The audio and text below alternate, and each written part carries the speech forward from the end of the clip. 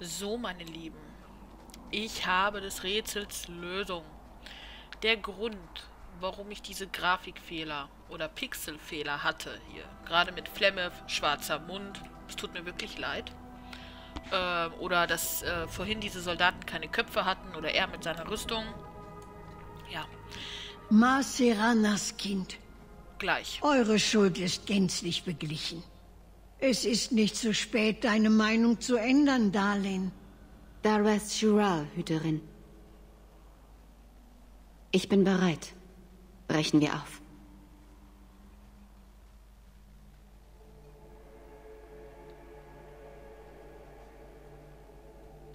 Ähm, ja. Das liegt an der DirectX 11 und hoher Grafikeinstellung. Elganan. Ist das... Leben hier wirklich die Elfen? Ja, das ist es. Ihr werdet euch daran gewöhnen. Die Elfen sagen, es wächst einem ans Herz. Wie ein Tumor. Ich hätte nicht gedacht, dass es so... so... Ich habe noch nie so viele Leute auf einem Haufen gesehen. Sicher sehr einsam. Ihr werdet Spaß daran haben, euch nach oben zu kämpfen. Gut, das war gelogen. Es wird kein Spaß. Ich bin ja eine tolle Abenteurerin. Kaum angefangen und schon entmutigt. Danke für alles. Für eure Hilfe. Werdet ihr mich besuchen? Natürlich nicht sofort. Aber später vielleicht.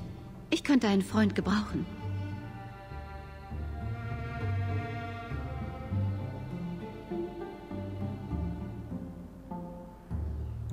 Das würde mir gefallen, Meryl. Danke. Oh, ich bedanke mich zu viel, oder? Aber ich meine es ernst.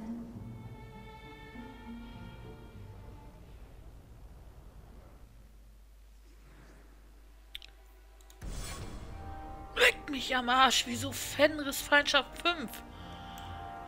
Äh, ja, so. Oh, ähm, hallo.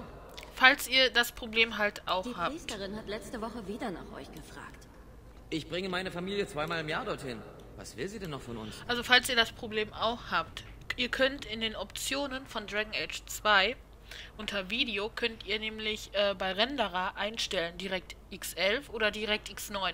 Wenn ihr dann einfach auf direkt X9 stellt, habt ihr keine Grafikprobleme mehr. Gut, es geht ein bisschen Grafik verloren, Viel zu tun heute, wie ich sehe. äh, weil direkt X11 halt besser ist, aber es, sind, es geht nicht Das so viel verloren. Ich bete, dass es dir bald Und besser geht. man hat natürlich keine Probleme mehr. nicht freiwillig zum Zirkel. Aber es ist der einzige Ort. Ich bedauere euren Verlust, Herrin. Aber ich kann eurem Sohn nur Gnade gewähren, wenn er sich ergibt. Ich versuche, ihn zu finden, aber Die Templer können Abtrünnige nicht tolerieren. Genauso wird es Mutter ergehen, wenn wir nicht vorsichtig sind. Vermute ich richtig, dass dieser Templer nicht hier war, um eurem Sohn alles Gute zu wünschen? ich bin Ariani. Mein Junge Fenrir. Er ist alles, was ich habe. Meine ganze Familie. Als ich merkte, dass er magiebegabt ist, brachte ich es nicht über mich, ihn zum Zirkel zu schicken. Aber seine Verbindung zum Nichts. Er hat Albträume von Dämonen, deren Stimmen er hört. Lieber verliere ich ihn an den Zirkel als an sich selbst. Ist euer Sohn fortgelaufen? Er hat erfahren, dass ich Sir Thrusk verständigt habe und denkt, ich hätte sein Vertrauen missbraucht. Er glaubt, er kann frei vom Zirkel leben. Aber ich fürchte, dass er sich ohne gute Ausbildung selbst umbringen wird. Das sieht aus wie Tätowierungen der Dalish. Warum lebt ihr in der Stadt? Ich wurde bei den Dalish geboren, kam aber vorübergehend nach Kirkwall und turtelte mit einem menschlichen Händler, Vincento. Als ich schwanger wurde, wollten weder Vincento noch mein Stamm die Bürde eines Elf-Mensch-Mischlings tragen.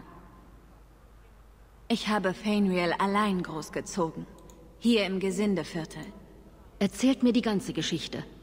Ich habe vor Jahren erfahren, dass mein Sohn wahrscheinlich magiebegabt ist. Aber wir ertrugen den Gedanken nicht, dass er in der Geigenburg eingesperrt wird und haben uns versteckt.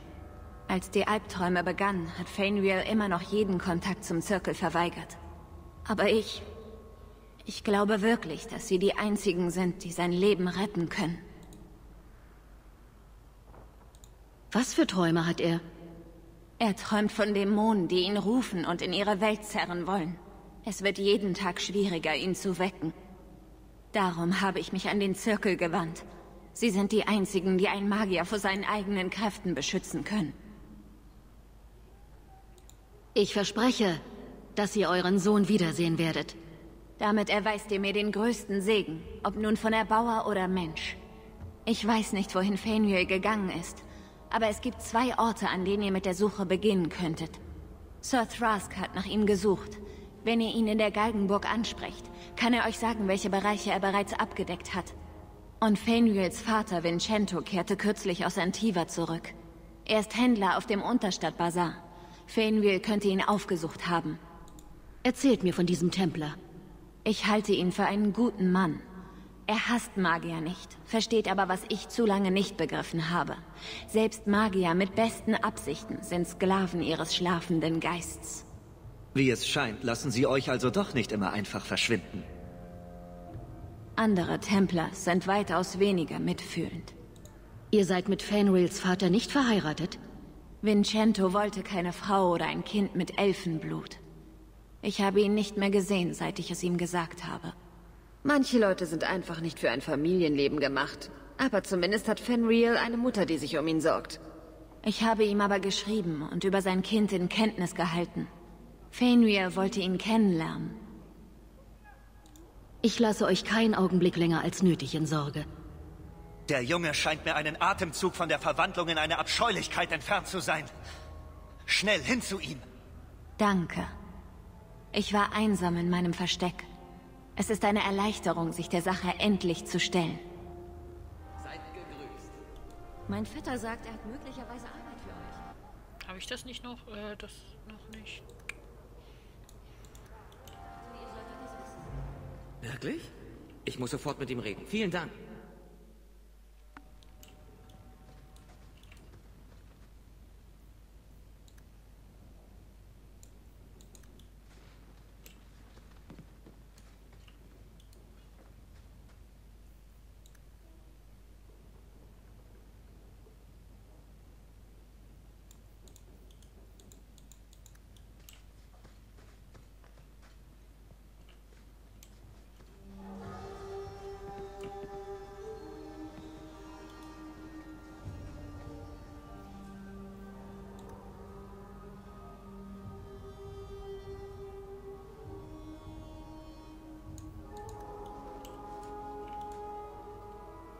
Ich dachte nicht, dass ihr kommt. Ich suche euch etwas Sauberes, wo ihr euch hinsetzen könnt.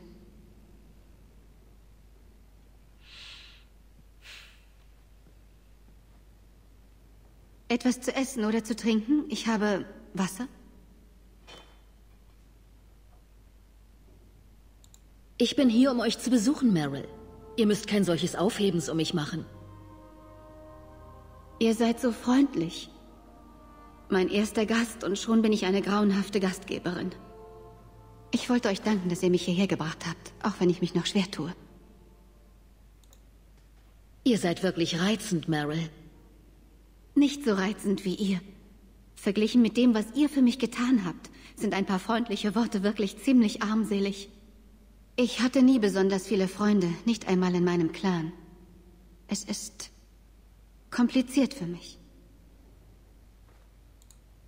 Wieso wart ihr bei den Dälisch so unbeliebt? Als erste der Hüterin war ich immer ein wenig ausgeschlossen. Während ich Magie und unsere Geschichte gelernt habe, wurden die anderen in den Via Tandahal ausgebildet. Es ist gut, dass ich fortgegangen bin. Ich wäre eine schreckliche Hüterin geworden. Ich bin nie besonders gut mit anderen ausgekommen. Es wird nicht mehr lange dauern, dann seid ihr das beliebteste Mädchen im Gesindeviertel. Bei Mythal, das hoffe ich nicht. Ich würde es noch schaffen, vor allem etwas Dummes zu sagen und mich zu blamieren. Danke, dass ihr mich besucht habt, Hawk. Das bedeutet mir viel. Das hat sich jetzt aber auch ein bisschen anders an, hätte sich jetzt auch anders anhören können. Seid ihr das beliebteste Mädchen im, ganz, im ganzen Gesinde, Gesindeviertel? Äh, ja. Beim Schreckenswolf. Oh. Warum herrscht in meinem Haus eigentlich immer so eine Unordnung, wenn ich Besuch habe? Es sieht hier nicht immer so aus. Das schwöre ich euch. Wow.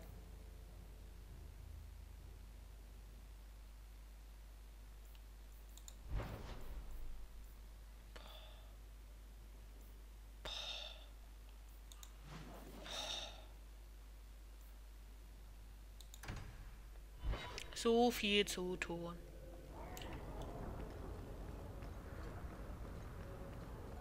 Ich mag es, wenn ein Mann solche Zeichen hat. Und hattet auch schon viele vermute ich. Wo ich herkomme, nennt man das Tätowierungen. Alle Seeleute haben so etwas. Aber wohl nicht aus Lyrium, oder? Kein einziger. Und die Bilder sind auch anders. Hauptsächlich Brüste. Ein paar auf meine Brust tätowierte Lyrium-Brüste wären dann wohl empfehlenswert. Man hilft, wo man kann. Was labern die? Grüße, Herrin. Ihr seht aus wie eine Frau, die feinste Rubine aus Antiva an ihrem zarten Hals zu schätzen weiß. Nicht wirklich. Ich bringe nur die besten Waren aus dem Norden in die freien Marschen. Eigentlich bin ich mehr an eurem Sohn interessiert. Herrin, ich bin Junggeselle. Ja. Ich habe nie eine ausreichend schöne und charmante Frau getroffen, die Vincento in Ketten legen konnte. Wir sollten den Tag nicht mit so schweren Gedanken verdüstern. Ich könnte euch meine Seide zeigen. Wir sind keine Templer, Sarah. Fenrir hat von uns nichts zu befürchten. Maldition! Ihr seid eine Magierin. Dann seid ihr bestimmt freundlich zu einem Jungen, der sich gegen die Festnahme durch die Templer wehrt. Aber natürlich. Als würde er zur Familie gehören. Der Junge steckt ganz tief drin. Also habe ich ihn zu dem einzigen Mann geschickt, der Magier nicht verachtet. Einem früheren Templer namens Samson.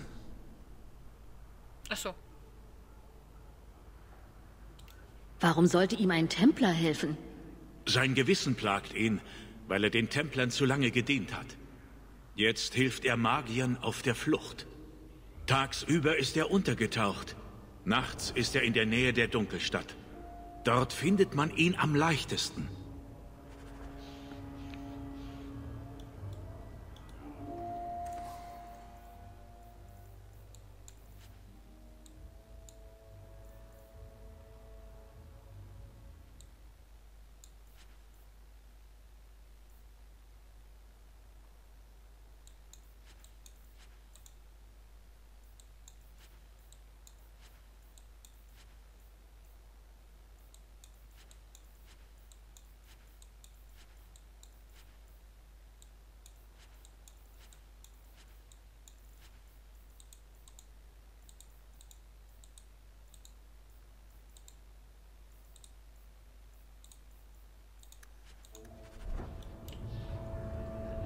Ähm.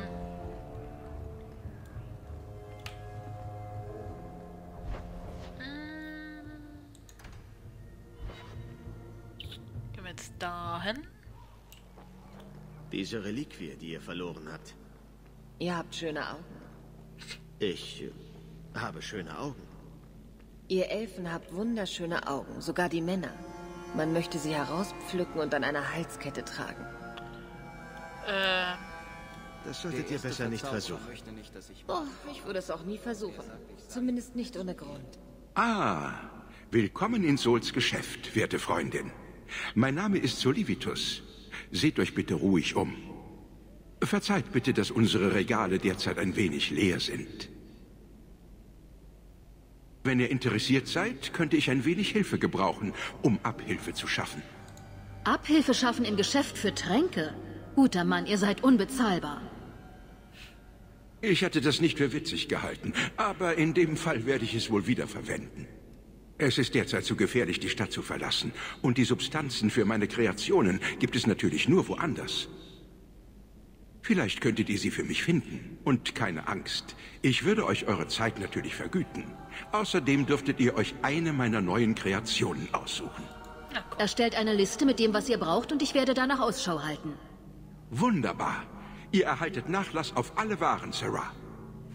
Schön.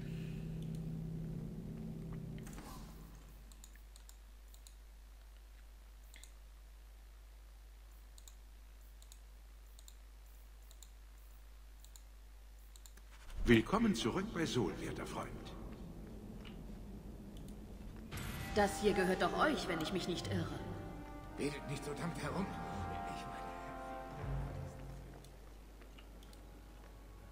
Seid ihr der Templer, der hinter dem jungen Fainwheel her ist? Ich wusste gar nicht, dass sein Name so bekannt ist. Und ich wusste nicht, dass wir ihn ausgerechnet einem Templer verraten würden. Vielleicht kennt euer Freund ihn aus dem Gesindeviertel. Nicht jeder Elf lebt in einem eurer Käfige, Templer. Seid ihr mit ihm befreundet? Kennt ihr ihn? Wie ist er so? So wie seine Mutter ihn beschreibt, ist er wie alle anderen, die wir zum Zirkel bringen. Voller Angst wegen seiner Begabung, besorgt um den Verlust seiner Freiheit und überzeugt, er sei die Ausnahme von unseren Gesetzen. Also niemand, dem man die Macht wünscht, andere mit seinen Gedanken zu töten.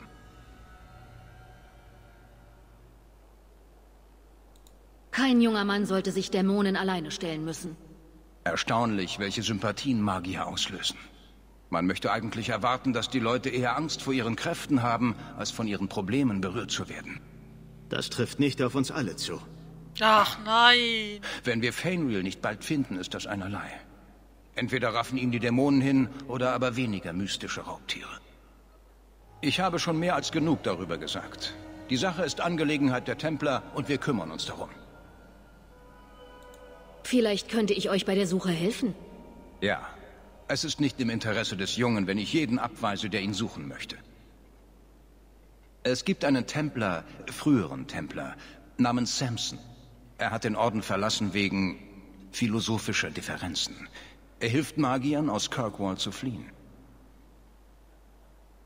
Wenn Fainreal bei ihm war, würde Samson mir das nicht sagen. Tagsüber hält er sich versteckt, aber nachts habe ich ihn schon gesehen in der Nähe des Zugangs zur Dunkelstadt. Oh, Fenris, du machst mich fertig. Now. Oh, Schande, ey.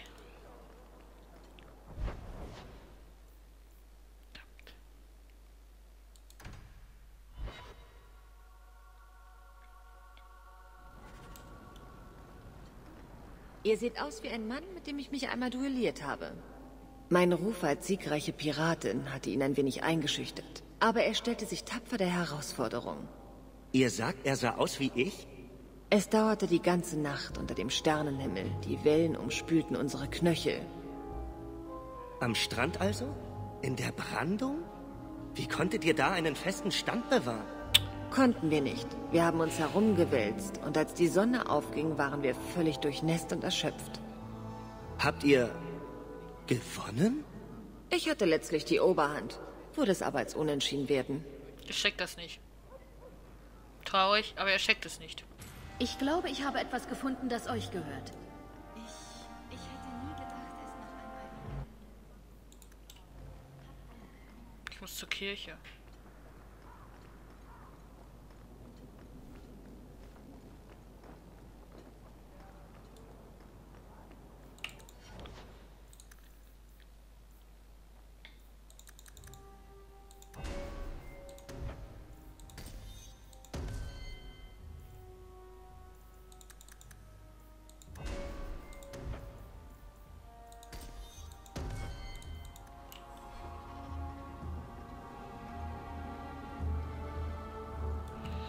Ich will jetzt mal die Blutdrachenrüstung anprobieren.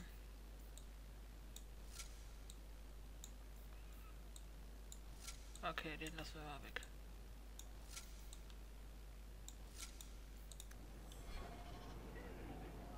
Äh, ja.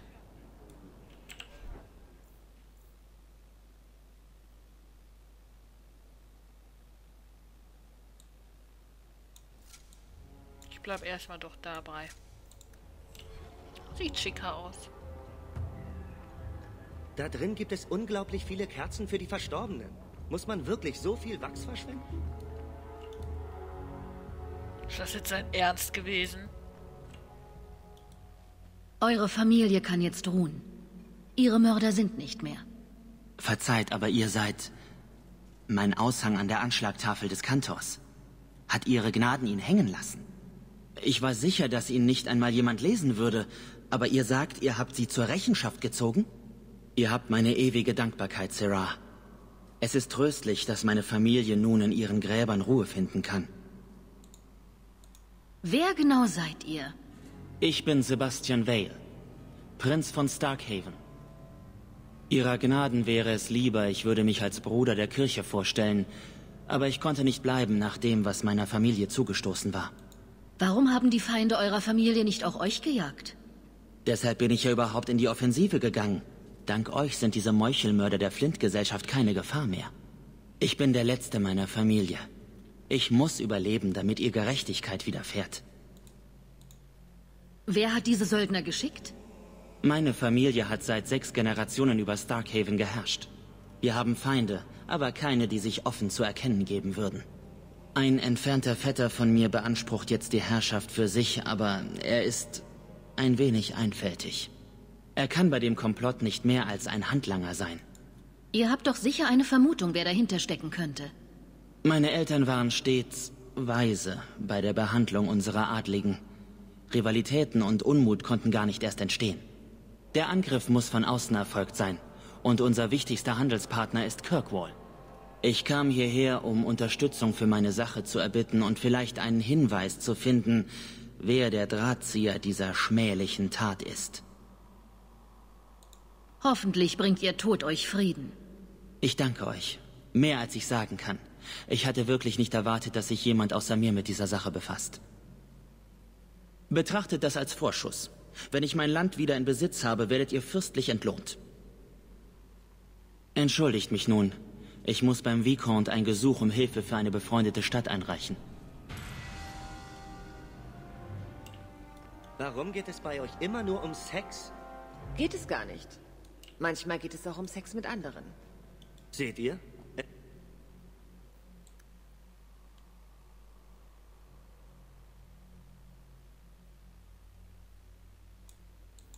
kommt bei jedem Gespräch hoch, das wir führen.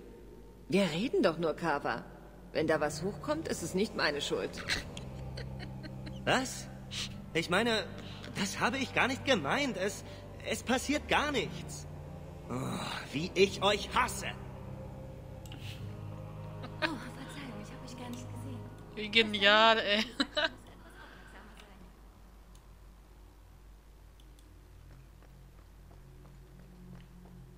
Gesegnet sei, auf wen des Erbauers Auge ruht. Der Erbauer segne euch, mein Kind. Ich bin Elsina, die oberste Klerikerin Kirkwalls. Soweit ich weiß, seid ihr neu in unserer Stadt. Die Situation in Feralden war äußerst bedenklich. Aber letztlich hat der Erbauer doch alles zum Guten gewendet. Es gibt hier ziemlich viel Gerede über die Kommandantin. Was könnt ihr mir über sie erzählen? Tratsch ist eine Sünde, mein Kind. Ja, Gerade ihr tut das Kommandantin Meredith geht ihren Pflichten mit bewundernswerter Hingabe nach. doch. Noch. Und es ist nicht meine Aufgabe, über ihren Charakter zu urteilen. Warum sind die Magier des Zirkels hier in einem Gefängnis des Reichs von Tevinter untergebracht? Ah, ihr entwickelt wirklich rasch Interesse an unseren Problemen. Die kurze Antwort ist, dass es einfach ein Gebäude war. Ein großes Gebäude. Hätten wir es da etwa leer stehen lassen sollen? Die Kirche hat schlichtweg Verwendung für etwas gefunden, das einstmals ein entsetzliches Grauen war. Einstmals ein entsetzliches Grauen? Ja, ich bin mir sicher, heutzutage ist es ein Ort voller Blumen und Glückseligkeit. Es liegt in der Natur des Menschen, nach vorne zu blicken und die Vergangenheit zu vergessen. Selbst eure Verderbnis wird noch während unserer Lebensspannen zu einer fernen Erinnerung verblassen. Ich habe einiges zu erledigen. Möget ihr in Andrastes Licht wandeln. Ja, ja, ja, ja. Glauben wir ja eh nicht dran.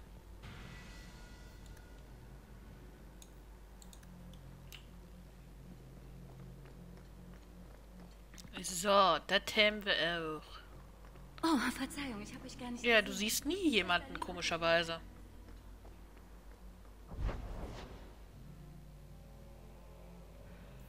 Ähm, so.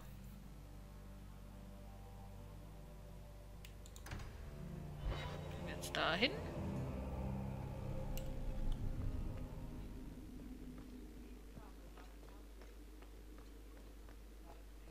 Besteht ruhig darauf, aber Vicomte Dumas empfängt niemanden. Wenn ihr Neuigkeiten über Seamus habt, werde ich sie weiterleiten. Gut. Dann sagt Dumas, dass meine Späher die Spur des Jungen und seines Entführers bis zur verwundeten Küste verfolgt haben. Ich jage sie jetzt mit einer ganzen Kompanie. und erwarte dann bei meiner Rückkehr die Übergabe der Belohnung. So viele für einen einzigen Kunari. Ist das nicht übertrieben? Vielleicht ist er ein Telvershoth. Die Winters überlassen nichts dem Zufall. Geht mir aus dem Weg! Boah, da hätte ich jetzt am liebsten ein Beinchen gestellt. Ja, was ist denn? Ich war wohl nicht die Einzige, die den Aushang gesehen hat. Sieht so aus und ich bedauere das zutiefst. Wie ich den anderen schon sagte, Vicomte Dumas Sohn Seamus wird vermisst. Wir vermuten, dass ihn ein Kunari entführt hat. Wenn ihr euch daran versuchen möchtet, ihn unbeschadet zurückzubringen, bitte. Ich habe den Winters und ihren gewalttätigen Methoden keinesfalls Exklusivität zugesichert. Es gibt sicher Vermutungen darüber, warum der Junge verschwunden ist. Warum? Was habt ihr gehört? Nichts? Bis jetzt. Es gibt keine gesicherten Erkenntnisse. Er ist verschwunden und es wurde ein Kunari gesehen. Die einzig mögliche Komplikation wäre, dass Seamus bekannt ist für seine mitfühlende See. Er könnte an allem selbst schuld sein, aber dennoch ist er damit in Gefahr.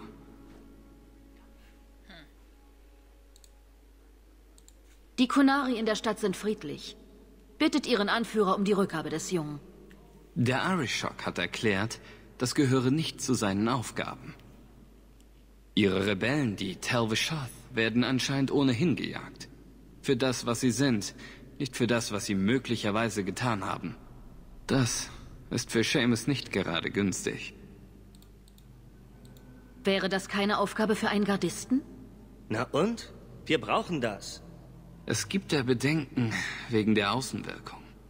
Vicomte Dumas Gegner könnten das als Eingeständnis einer Kunari-Bedrohung werten, da immerhin die Stadt aktiv wird. In diesen Zeiten steht man lieber vor dem Volk als vor dem politischen Gegner schlecht da. Ich sollte über die Konkurrenz Bescheid wissen. Die Winters aus Nevada. Ihnen ist es völlig einerlei, ob Seamus unbeschadet zurückgebracht wird. Ihre Anführerin Sarah Guinness will unbedingt im schönen Kirkwall Fuß fassen. Offen gestanden haben wir von ihrer Art schon viel zu viele. Der Junge wird schon bald wieder zu Hause sein. Ihr dürft das gerne ankündigen, aber die Belohnung bekommt derjenige, der ihn unversehrt zurückbringt. Ihr könnt das auch mit den Winters ausdiskutieren, solltet ihr sie treffen. An der verwundeten Küste. Jo, danke für den Tipp. Messier, hört bitte auf, gegen die Wand zu treten. Hoffentlich vergisst der Vicomte heute nicht wieder so mit mir sprichst, du mieser Bauer. Guten Tag, Sarah. Ja.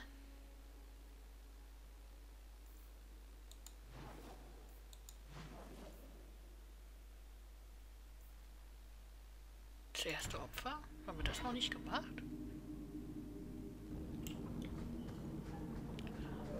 Neue Quest, sprich mit Anders? Ich lasse sie aus! Niemand am Leben! Wir brauchen keine Zeugen! Die Leichen fleddern. Oh, wie unverhofft. Gewehrt euch die Dunkelstadt nicht? Dann verreckt und schafft Platz. Was will sie denn von mir? Geht doch jetzt gerade um das erste Opfer.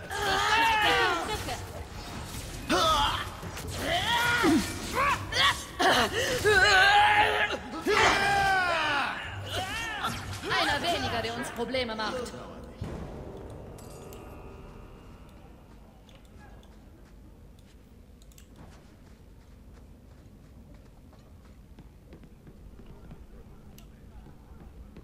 Ein perfekter Ort, um sich zu verstecken.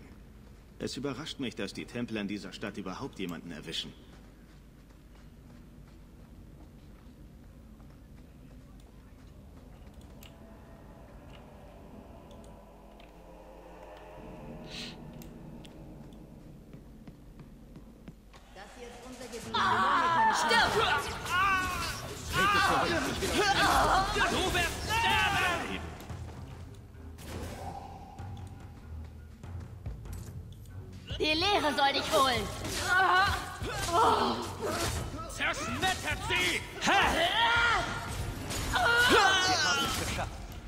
Hab Dank für euer rechtzeitiges Auftauchen, Sarah. Mein Name ist Emmerich. Genau ja. der Mann, nach dem ich gesucht habe. Ich muss mit euch über Ninette sprechen. Ah, Ghislaine de Carracks Gemahlin. Ihr Verschwinden hat meine Aufmerksamkeit erregt. Ich habe versucht, der Sache nachzugehen. Die Untersuchung war jedoch reine Zeitverschwendung. Habt ihr denn gar nichts herausgefunden? Die meisten sagen, sie habe einfach nur ihren Gemahl verlassen. Angefangen hat das alles, als Maren, eine der Magierinnen aus unserem Zirkel, plötzlich verschwand. Das kam mir seltsam vor, weil sie schon etwas älter und alles andere als abenteuerlustig war. Und dann habe ich von Ninette und zwei weiteren Frauen gehört, die vermisst werden. Wenn eine Frau verschwindet, bleibt sie entweder verschwunden oder man findet nur noch ihre Leiche. Ich hoffe, ihr irrt euch, meine Dame. Ich denke, zwischen diesen verschwundenen Frauen besteht ein Zusammenhang. Und ich befürchte, wir haben es mit einem Verbrechen zu tun. Magier fliehen doch ständig aus dem Zirkel. Vielleicht wollte Maron ja einfach nur frei sein. Sie war immer absolut loyal. Ein unbekannter Verehrer hatte ihr Lilien geschickt. Und einige von uns dachten, sie würde sich vielleicht mit ihm treffen. Vielleicht gibt es eine Verbindung zwischen allen Fällen. Nutzt der Zirkel denn nicht üblicherweise die Phylakterien, um seine Magier aufzuspüren? Wir sind ihrem Phylakterion bis zu einer Gießerei gefolgt, doch dort ist die Verbindung plötzlich abgebrochen. Ich habe von einigen Sympathisanten gehört, die entflohene Magier durch die Dunkelstadt schmuggeln. Also bin ich hierher gekommen, um ihre Spur vielleicht wieder aufnehmen zu können. Ich habe allerdings keinerlei Hinweise auf Maron gefunden und mich durch die Befragung der Einheimischen ziemlich unbeliebt gemacht. Aber das habt ihr ja selbst gesehen. Habt ihr der Stadtwache von eurem Verdacht erzählt? Ja, aber dort wurde mir mitgeteilt, dass es keinen Beweis dafür gibt, dass zwischen den verschwundenen Frauen ein Zusammenhang besteht. Es hieß, die Frauen seien eben einfach von zu Hause weggelaufen. Das geschehe ständig. Niemand verschwindet einfach so. Vielleicht wurde sie ermordet oder entführt. Wir haben weder Leichen noch etwaige Lösegeldforderungen gefunden. Diese Frauen sind einfach spurlos verschwunden. Kann ich euch bei eurer Untersuchung irgendwie helfen? Es ist nicht länger meine Untersuchung, Sarah. Aber ihr könnt sie gerne fortsetzen, wenn ihr möchtet. Dieser Kampf hat mir gezeigt, dass ich nicht mehr der Krieger bin, der ich einmal war. Ich weiß, wann es an der Zeit ist, Platz für andere zu machen. Hier, nehmt meine Aufzeichnungen.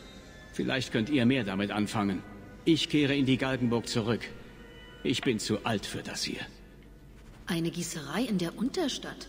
Dem sollte ich auf den Grund. Ah, was hat Ila Isabella denn jetzt für ein Problem? Ich werde aus der Frau nicht schlau.